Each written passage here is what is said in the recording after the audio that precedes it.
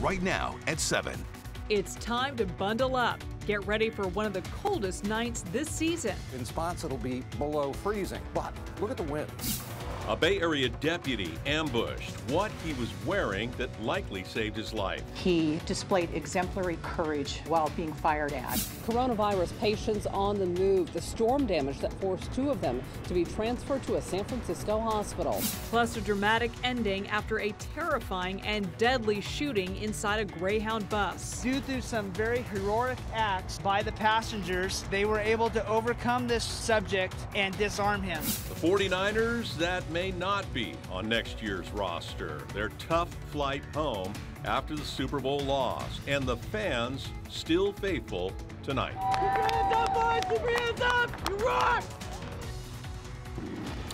Right now on the KPIX 5 News at 7 and streaming on CBSN Bay Area, a beautiful sunset tonight leading to a very cold night ahead. And good evening. I'm Ken Bastida. And I'm Elizabeth Cook. A live look at San Francisco. Our Salesforce cameras have been bouncing around a little bit. Along with the cold, there's some gusty winds out there tonight. Let's get right to Brian Hackney for the very latest. Hey, Brian. Yeah, if the winds are gusty enough, it's not going to get that cold. But at the moment, there are freeze warnings posted up in the North Bay, in the wine country, and in all of the valleys for sub-freezing temperatures. Be down in the mid-20s and low 30s tonight.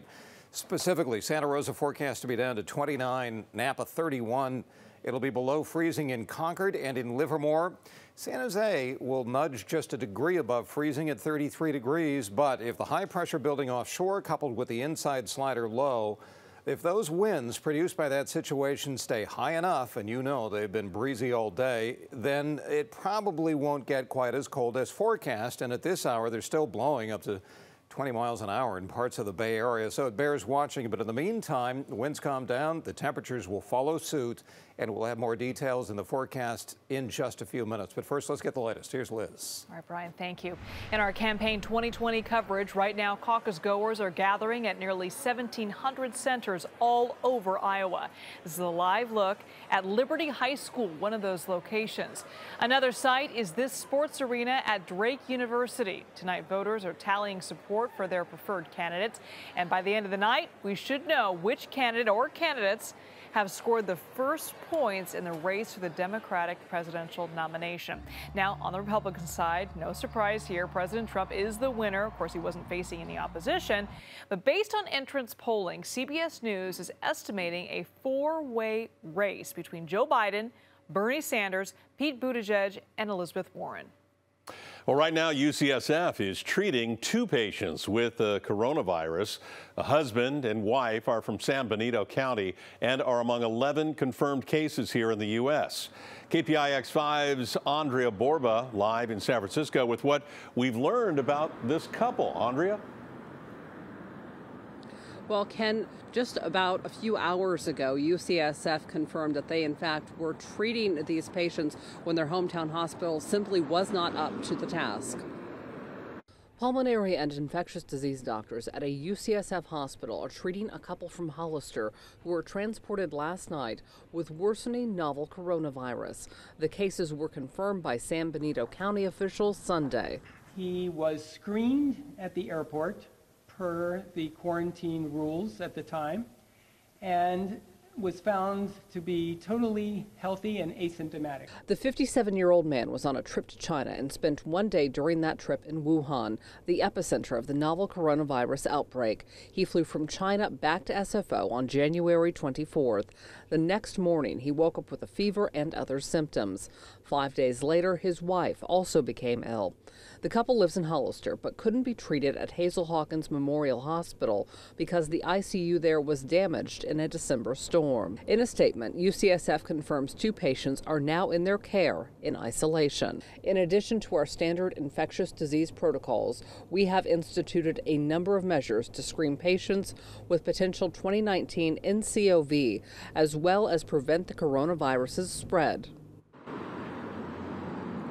Now, military bases across the country are also gearing up to potentially take patients who need to go into quarantine. At this point, Travis Air Force Base in Solano County is one of those. Ken, Elizabeth? Yeah, thanks, Andrea. UC's study abroad semester programs in China have all been halted because of this virus. The suspension impacts about 50 students across all UC campuses. A UC spokesperson says it is pulling the plug because of the U.S. State Department's warning against travel to China. And we invite you to stay with KPIX5 for continuing coverage of the coronavirus situation. We will have all the developments right here on KPIX.com and streaming on CBSN Bay Area. A Santa Clara County deputy ambushed while on patrol alone. Tonight, we learned a piece of his equipment likely saved his life.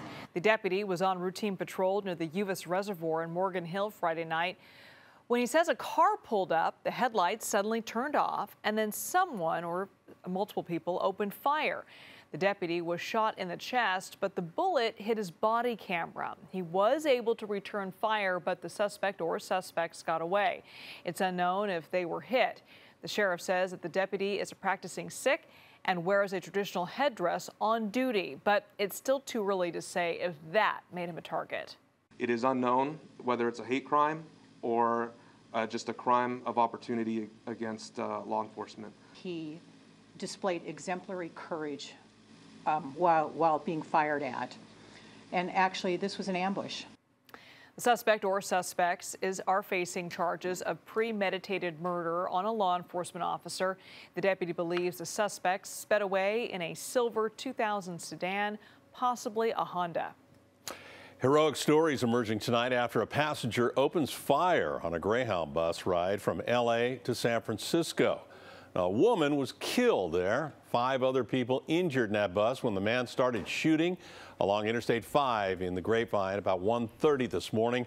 The bus driver pulled over immediately. One passenger called 911 while others worked to take down the suspect and disarm him.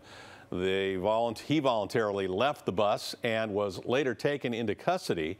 Officers say that there is no evidence the shooter knew any of the victims. Due to some very heroic acts by the passengers, they were able to overcome this subject and disarm him. They were able to escort him off of the bus. We are still trying to establish a, a motive. A difficult day back for high school students at Deer Valley High School in Antioch after one of their classmates was shot and killed. Police say 16-year-old sophomore Jonathan Parker was shot in the parking lot Friday night when a fight broke out between a group of teens after the basketball game. There's no details yet on who exactly pulled the trigger. A memorial is growing at the school where grief counselors and police were on hand today. You can tell when you go on campus that something has shifted. Like everyone, it seems empty even though everyone is here. I'm hurt by it. A lot of my other friends are hurt by it. And he shouldn't have died that day. The school district released a statement saying in part, quote, our children must be taught that solving disagreements with violence is not the answer. Well, 49ers and Chiefs are both back home tonight. The mood much brighter in Kansas City, as you can imagine. The uh, Niners, uh, well, not hanging their heads, but feeling it after blowing a 10-point lead last night. Andrea Nakano is here now with what's next for the 49ers after really what was a stellar season. It was a great season, yeah. yeah. But there will be a parade on Wednesday. Unfortunately, that one's going to be in Kansas City. Despite Sunday's loss, it was still a season to remember for the 49er faithful. Got out of school early today, yes, for this just to welcome them back. Go Niners. Gotta support the team. They've been awesome. They've brought back the spirit, saved me as a fan. Keep your hands up, boys! Keep your hands up! You rock! All the way, baby! Niners, all the way! Well, not quite the heroes welcome the 49ers were hoping for today, but a handful of fans were there to greet them this afternoon. Instead, Jimmy G and the 49ers are left to turn the page after letting a 10-point lead slip away in the fourth quarter on Sunday. You can see it in guys' eyes in there. It, it means something to guys, and uh, you know it means you got guys who care about what they're doing, guys who care about each other, and uh, you know we're a young team, got a got a very bright future. So um, you know, got to take this in stride, remember this feeling, and you know let it fuel us in the in the off season. Yeah, is it September yet? Well, San Francisco has 14 unrestricted free agents this offseason. The big three are receiver Emmanuel Sanders, Arik Armstead, who led the team with 10 sacks, and free safety Jimmy Ward. They'll also pick outside the top 10 in the draft for the first time since 2015. So that shows you how bad this team was for so many years. Yeah. And now Yeah. they'll pick a They're not going to be able later. to depend on any draft picks this year, but uh, maybe you some never know. trades. You might find a gem in the third round. Could Who be. knows? Could Who be. knows? Let's hope. Let's hope. Thanks, Andrea. Up next, the halftime show still has people talking tonight. Was it inappropriate? You be the judge. And it's a very good list to be on why one Bay Area location took the top spot when it comes to giving children the best chance for success. How do we double down on what we've been doing so we really get every kid across the finish line? And the proposed ballot measure in the Bay Area aimed at helping the housing crisis. But who will be paying the price? Plus, there is no rain in our forecast. So, why is Caltrans concerned about extra water building up on some Bay Area freeways? And don't forget, we're streaming now on CBSN Bay Area. You can find us on KPIX.com, the CBS News app, or your favorite platform.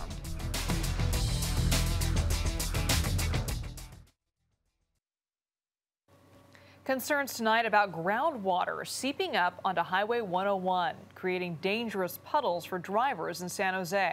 Yeah, Caltrans has been working on both short and long-term solutions for these puddles, but after recent rains, there's been more water than ever. The section of freeway actually goes below grade for about a mile, and then it's right above an underground aquifer that's brimming. It's too much danger, you know, to have running water like that on a freeway on nights like this where water's supposed to freeze up. It can cause a lot of havoc. Caltrans says it's not worried about ice because the water is flowing, it's moving, and temperatures won't be that cold there, but it will be placing electronic signs to warn drivers. Well, we see the water, but we need the rain, so it's a little bit of a tease Yeah, I there. I don't remember that part of the 101 ever flooding like that. You know what's weird is there have been a couple of stories lately of old wells in the Santa Clara Valley starting to come up because groundwater's been recharging. Well, that's, that's what they did to Uh, irrigate all those crops yeah. once upon a time. Yeah. But still, that much groundwater and, and uh, well, ice or not, it's dangerous to Yeah, hit that stuff. Absolutely. Not Well, we certainly won't have rain as a problem for the next seven days in that part of the Bay Area because there is none in the extended. Cold weather's the headline tonight as we overlook the city of San Francisco. The highs today mostly in the 50s. Santa Rosa at 59 degrees, San Francisco at 55, and Fremont 53 degrees. Overnight lows tonight. That's the story. Uh, as we mentioned, Santa Rosa will be down to 29 degrees, in Napa 31, and in Livermore just below freezing tonight, and in San Jose it will be 33 for an overnight low. If the winds continue to mix out uh, the upper atmosphere and take it down to the surface, then things will not get that cold tonight. And it does look as if the winds are going to maintain right through sunrise tomorrow. And I, it's counterintuitive. You think you go out in the wind and it's freezing, and it was today.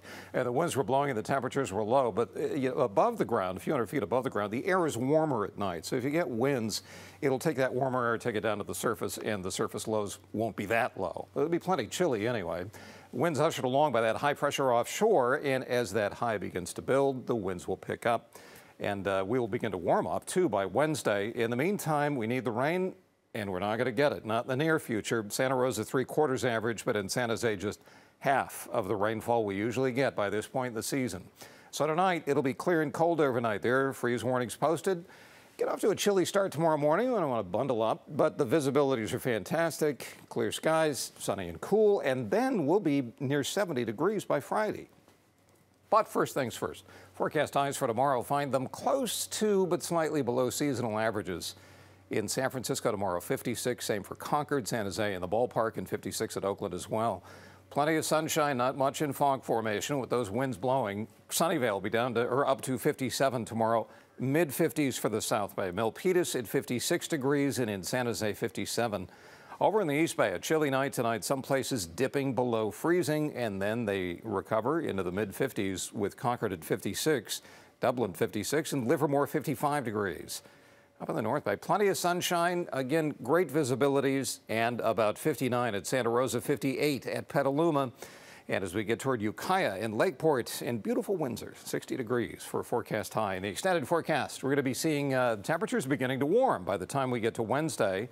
We'll be 62, 65 on Thursday. Look at Friday, near 70 degrees, just like last Friday. And then Saturday and Sunday will begin to cool it off, but um, computer models are just not suggesting even a hint of rain in the next seven days. That's weather for the latest in the headlines. Here's Liz. Thank you, Brian. Well, here's what you missed if you're just getting home right now. Senators have begun deliberations in President Trump's impeachment trial. Closing arguments wrapped up today, nearly a month and a half after the House voted to impeach the president on charges of abuse of power and obstruction of Congress. The GOP controlled Senate is expected to take a final vote Wednesday to acquit the president on both articles. We must say enough. He has betrayed our national security, and he will do so again. He has compromised our elections, and he will do so again. I cannot vote to convict. The Constitution provides for impeachment, but does not demand it in all instances. There's a lot of back and forth going on about a proposed property tax in San Jose. Measure E would impose a tax on properties worth more than $2 million. If it passes, it could raise millions of dollars for low income housing, but critics say there is a catch. They promise to spend it on low income housing. You buy that? Well, maybe these elected officials in the next couple of years, but the mayor is going to be out of office two years from now, and, and and this money can be spent by any council any way they like because it's a general fund tax.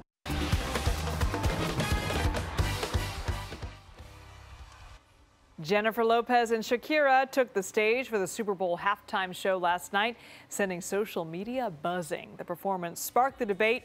Is empowering or objectifying? Our viewers have been weighing in. Some said it was overly sexual, not family friendly. Others wrote it was great.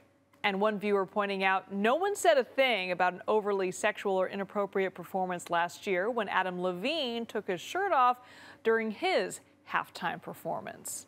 Ken? All right, thanks, Elizabeth. The new bill at the state capitol that could radically transform PG&E. And some other news on the utility that sent stocks soaring double digits today. The people come here tend to be like more inclined to study and more worried about education. Plus, the Bay Area city that landed at the top in a new ranking of the best places to raise kids. Plus, we have all heard of drug or bomb sniffing dogs, but why are they now being used at some Bay Area wineries?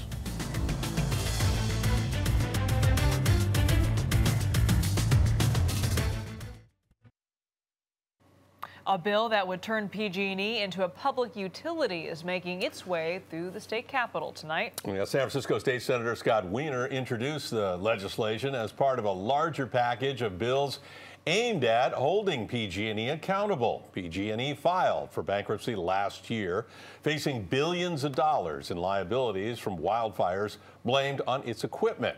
Well, today PG&E filed a revamped plan to emerge from Chapter 11, and that sent the company's stock surging 13.5% straight up.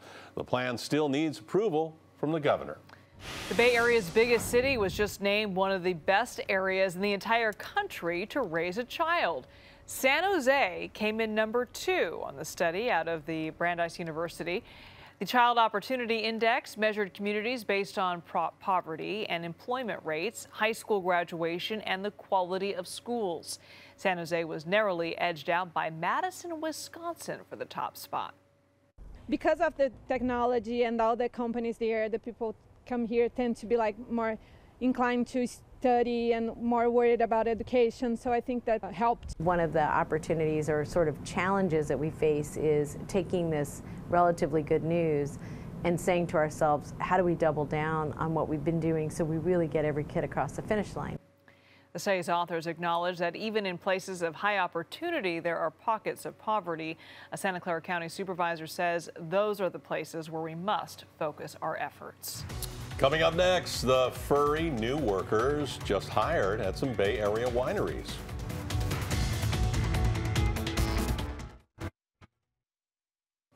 These are former drug sniffing dogs from Chile and are now being used to find bad wine in Sonoma County. They can detect chemicals in the wood of the barrels and the corks that can end up contaminating and ruining the wine. One of the benefits with the dogs is that the dogs not only going to tell you that there is something wrong, but they're going to point you exactly where uh, the, Where the where is it coming from. The barrel makers, TN Coopers, now using them to find out what wine might be bad. The owner says he has other wineries asking if the dogs can help them too. Ah, they are just amazing.